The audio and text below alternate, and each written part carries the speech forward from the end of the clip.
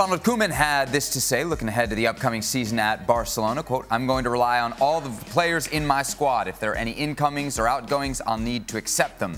These are decisions that need to be made by the club. There's lots of time left. Let's see who stays and who goes. But it's clear that Messi's renewal is the absolute priority.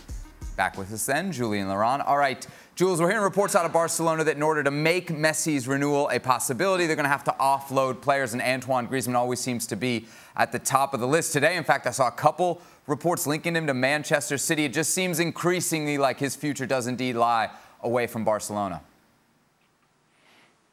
I mean, the fact that he's on the transfer list is one is not a surprise. Two, we kind of know it. Pretty much everybody's for sale in that squad because they need money so badly. They need to cut the wage bill too that's that's one thing. Finding a club to sign Antoine Griezmann, I don't think he can go on loan. Maybe, I guess a loan maybe is an option, but otherwise, who's going to spend 80 million, 100 million on Antoine Griezmann?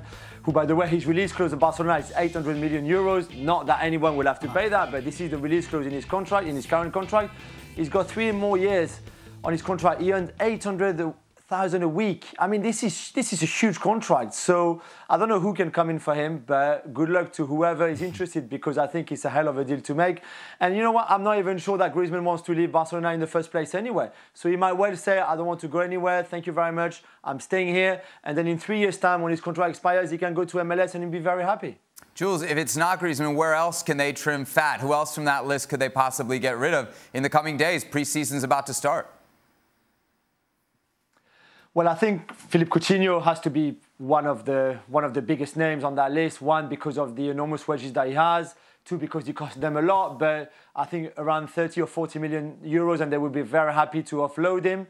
Someone like Miralem Pjanic, who's hardly played really since arriving with that bill swap money deal, if you want, with Arthur and Juventus, is also not welcome at the club anymore. So there's a there's a few like that. Ousmane Dembele has only one year left on his contract. Right now, it doesn't look like He's going to renew the deal. He's also injured, which will make it harder to sell, of course. But there might be something to, to do there if he doesn't want to extend. What about Samuel Umtiti, Clément Lenglet? They've been offering them to every single club in Europe, but at the moment there's no takers and they don't want to live anywhere in the first place. So wanting, wanting to sell players is one thing. Managing to sell them and, and convincing them to leave is another thing. And I'm not sure really that Barcelona is, is in the best of place in terms of selling right now. Well, thank you very much for watching ESPN on YouTube. For more sports highlights and analysis, be sure to download the ESPN app. And for live streaming, premium content, and let's not forget as well, ESPN FC seven days a week. Subscribe to ESPN Plus.